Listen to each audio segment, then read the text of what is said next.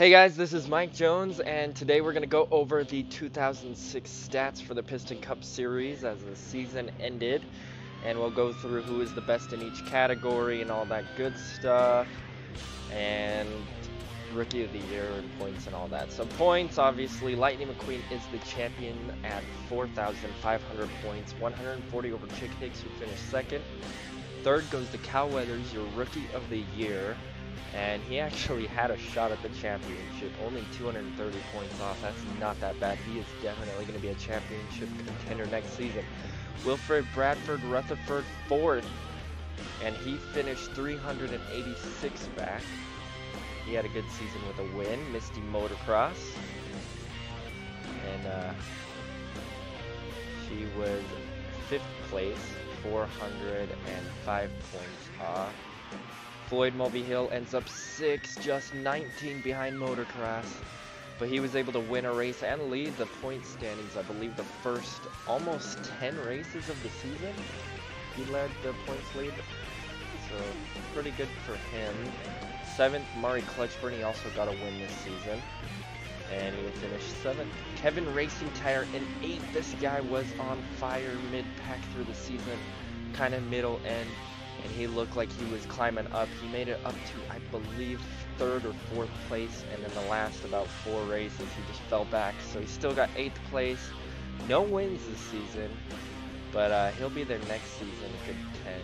Mac iCar, oh no, missed Mac iCar. Haul Inngas actually next. Might as well put a thing here so you can see what I'm talking about. Haul Inngas is next, and he finished is ninth with 520 points back, and he got three wins this season. He looked like he was going to be on top with two wins. I believe he was the first car with two wins. He also got three wins before Chick Hicks got three wins. And, uh, yeah, really good winner, but not very consistent. Then we got Mac iCar rounding out your top 10 and he also didn't win a race this season, but he's been very consistent, which is weird because he's Mac iCar. I don't know. Now we'll just go through other rookies and people retiring this season. And we're going to start with Rusty Cornfuel. Actually, Haul Inngas is retiring. I forgot about him. He is retiring. I re that really sucks because I want to see what he's going to do with his finishing. Being able to win, but be very inconsistent. But too bad. He's calling it quits after a strong season of sixth or ninth in points. It's pretty good. But anyway, next, oh, Rusty Cornfuel. He's gonna end his career with a win in the last season. Only three top fives and eight top tens, but that's way better than his season before in 2005. Davey Apex gonna end his season with a win, also tying for 16th in points. Pretty strong season for him.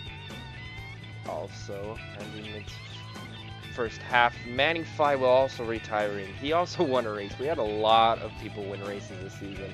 This package was really close. They're changing it up next season, so that's going to be a fun one to watch. But uh, Manny Flywheel also won a race. Next rookie, this is the second place finishing rookie, all the way down in 21st. Martin Carrix Jr., and this guy was able to win a race his first season. Also, I believe he's the second rookie to win a race. Him and Cal Weathers are the only two rookies that won races, I believe. Aiken Axler had a terrible season for his standards. He finished fourth, I think, the season before. 22nd this season. No wins. He was awful for his standards. Todd Marcus and Aiken Axler is also retiring. James Cleanair will be the next car retiring. And uh, no wins for him and pretty bad season, honestly. As we keep going down. Denny Carlin, Clint Bokar, both rookies. Both of them didn't get wins, but both of them... Carlin should have won like three of the last like 10 races or something. He was on fire and just bad stuff happened, which really sucks. I think he got some second place finishes. But, uh, oh, once he had a pit. I, I don't remember, but it wasn't that long ago. I think it was the last big track, like Texas or something. He had a pit from the lead with only a couple laps to go or something. he lost the lead because of that. Clint Bokar blew an engine while leading at Dover. I remember that one. That sucks. Chuck Armstrong retiring this season. He got a win this season, so that's good. At least most of the people retiring are getting a win their last season. terrible season for him though, 31st in points, but did get a win, so that's better than nothing. And last person retiring is Brush Curber. Brush Curber did not get a win, and he's been awful, so it makes sense that he's retiring. He's been bad in both the last two seasons, so it makes sense. And then last rookie is JJ Traley, who finished way behind, even second to last in points. He was awful this season, and uh, he might get fired. We'll just have to see what happens. I mean, obviously you're not going to do too good your rookie season, unless you're Cal Weathers apparently, or Lightning McQueen. But um, JJ Traley is the worst driver by far so far. like, it wasn't even close. But anyway, now that we've went through that, we can look at starts.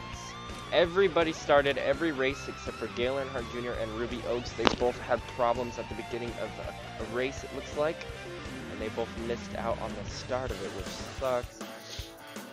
But they still were able to do not really decent, but yeah, that hurt them because they didn't even get last place points, which is only 37 or something, but 42 or I don't know, somewhere around there for 40th place. We'll have 42 cars next season. But anyway, those are the only two cars to not start. Best poles, Lightning McQueen, four pole positions. Of course, the champion always has the most pole positions, and it is actually a lot of people. He didn't dominate them. Four is not that much for the most person. I think in real life NASCAR, you get like the same person gets like eight.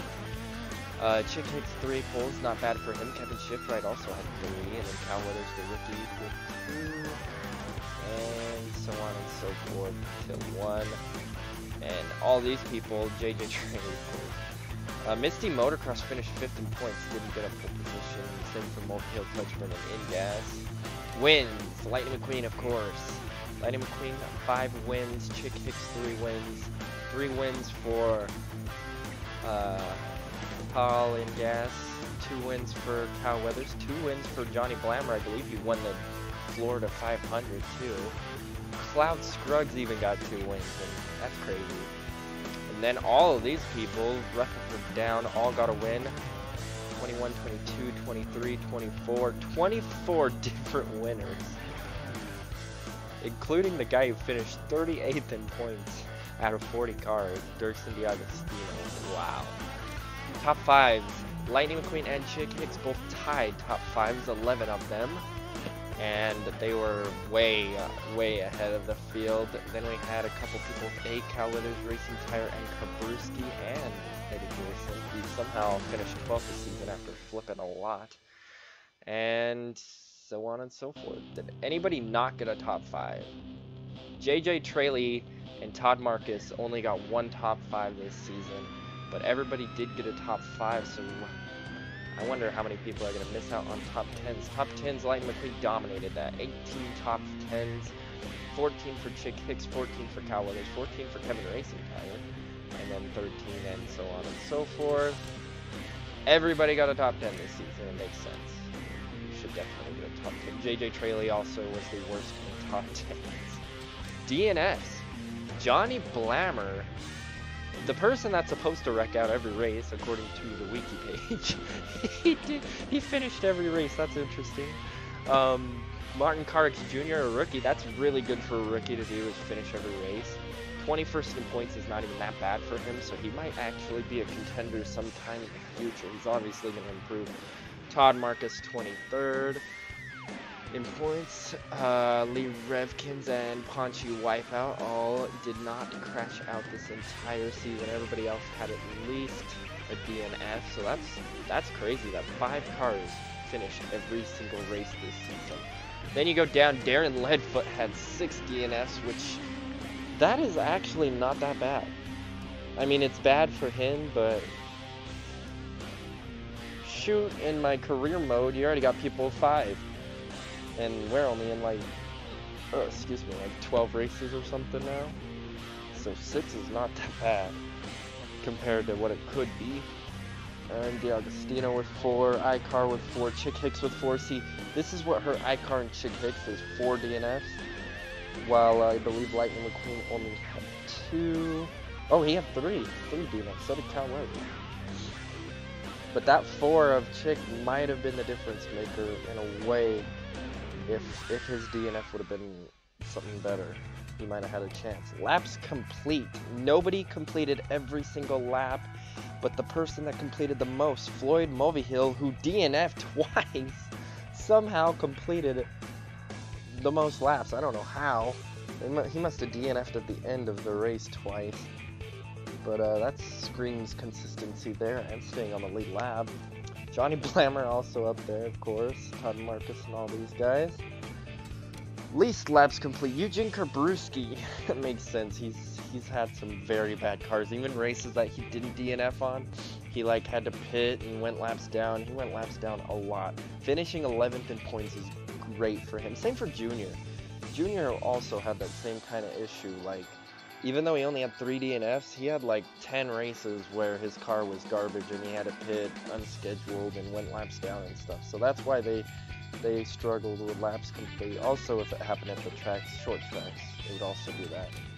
So yeah, laps led. Chick Hicks led the most, 274 laps. And you might be able to hear my dog whining in the background. Uh, Lightning McQueen, second laps led. Cal Weathers, the big three, I guess you'd call it. Eugene Carbureski completed the least amount of laps, yet he was fourth on laps led. that screams the most inconsistent driver there is. Luckily, he'll be able to race next season and hopefully make up for this wacky thing. Floyd Mulvihill in sixth, Rutherford fourth. Points and all that. And keep going down. Brush Curber led nine laps, and that was the worst. So everybody led at least nine laps this season. Rusty Cornfuel didn't lead very many either. Holy crap. But he was at least consistent enough to get a top 15. JJ Traley led 21. He led more laps than all these guys above him, yet he was terrible. And last but not least, races led. Chick Hicks led uh, led a lap in 23 of the races, 63% of them. Wow. That's crazy because uh, next is Lightning McQueen, 19. Chick led a lot more. He just wasn't able to capitalize on those races he led, I don't think. He led in 23 races, but only won three. He should have won at least six races this season, at least. And I know he blew up from the lead like at least twice, so that's like two of his DNFs, so that makes sense. Lightning McQueen led in 19, and then we got a tie. Cal Weathers and Carbureski led 15 races, and uh, Rutherford, Scruggs, and so on and so forth. Cornfuel led in four races, and he led 13 laps, and that's like two laps a race that he raced in. JJ Traley, same thing, so he must have led laps at a, at a short track. But anyway, that is all the stats, I guess. Um, yeah. I hope you guys enjoyed this video. If you did, please click the like button. And if you made it to the end of the video, comment 2007, baby. Because that's what we're going to. Alright, and subscribe if you're new. 80% of you guys are not subscribed, so turn on that notification bell so you don't miss the 2007 season that is coming up. It's going to be awesome. We're going to have, hopefully, about 10 rookies I'm hoping for. We're going to have at least 7 actual Piston Cup rookies. And then I'm thinking probably three NASCAR driver ripoffs like uh, JJ Traley or um, whatever, you know, Martin Kartsteiner or something like that. So we'll see who they are and the stuff up and coming, and uh, we'll see you guys next time. Join the Discord chat, follow me on Twitter. Bye, guys.